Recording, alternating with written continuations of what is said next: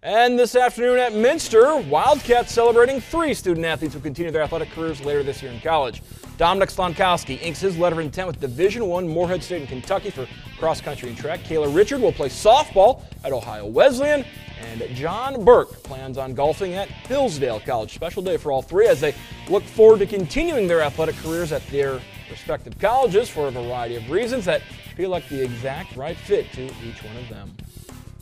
Um, I chose Morehead State because one, my mom went to Morehead State and attended there for college, and two, they're really just rebuilding the cross country team, and I felt that if I go there, I, they can really build me up to to do my potential and all. So more excited about the track because it's more more new events like the steeplechase and just other cool activity, uh, cool events I can do besides the two mile, mile, and 800. So. Um, it's really exciting. I can't wait to go next year and play with the team.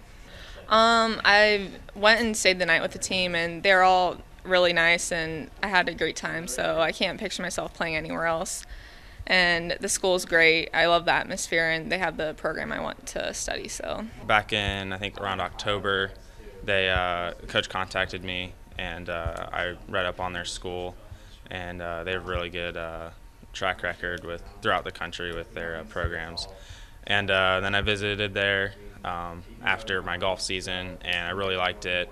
And uh, I liked the coach, and then I was able to meet some uh, students and players up there, and uh, it seemed like a really good fit for me.